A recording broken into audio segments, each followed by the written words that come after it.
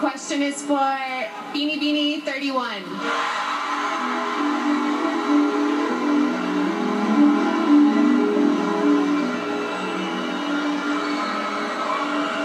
Hi, Kylie. This question may sound familiar to you because it was a similar question to the final at Miss Universe. Why do you deserve to win a Binibining Pilipinas crown tonight? The person who deserves to win a Binibining Pilipinas crown tonight is the person who has worked hard for it and is willing to do everything to continue the legacy of the Philippines. She is confident with an attitude and personality and has a personality and I believe I am her. Thank you.